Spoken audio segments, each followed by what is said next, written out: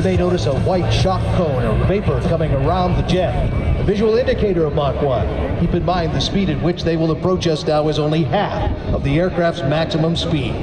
Watch now as the Super Hornet passes with a high speed pass.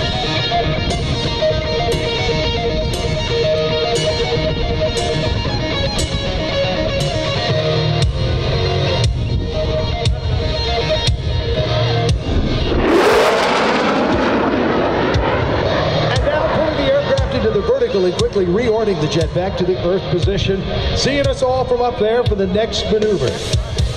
Entering the maneuver at 350 miles per hour, they will pull the jet into the vertical, roll the canopy towards us, selecting full afterburners. The airspeed slows to 220 miles an hour. They'll perform a very enjoyable negative three pushover to set up for the vertical pirouette.